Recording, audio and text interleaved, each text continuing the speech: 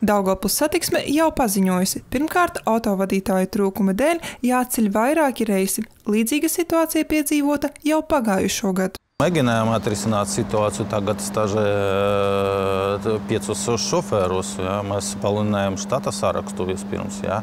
bet tas negarantē, ka cilvēki un šoferi neslīmi. Otrakārt, trūks ne tikai vadītāju, bet arī konduktoru, kā arī tehnikas, lai pilsētas autobusos un tramvajos atbilstoši ministru kabineta uzdotajiem noskanētu vakcinācijas certifikātus.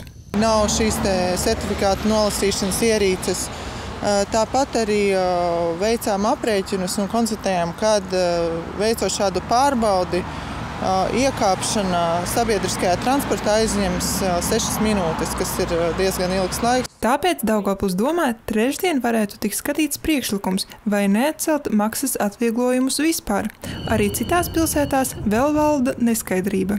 Mēs gaidām pašvaldības lēmumu un atkarībā no tā mēs viņu pildīsim. Uh, bet uh, šobrīd tīri tehniski nu, nu, ir sarežģīti šos noteikumus izpildīt.